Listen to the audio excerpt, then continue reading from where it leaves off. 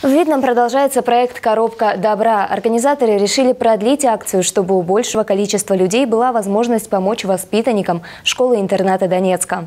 Акция стартовала по инициативе жительницы округа Валентины Печенкиной, в прошлом воспитанницы учреждения.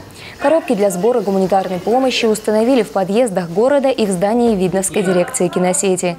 На сегодняшний день удалось собрать внушительный объем необходимых детям товаров. Люди приносят э, пакеты, кладут вещи, детские вещи, игрушки, книжки. Надо помогать э, людям, э, которые сейчас в беде. На каждой коробке есть подробный список нужных товаров. Детям особенно необходимы лекарства и средства личной гигиены.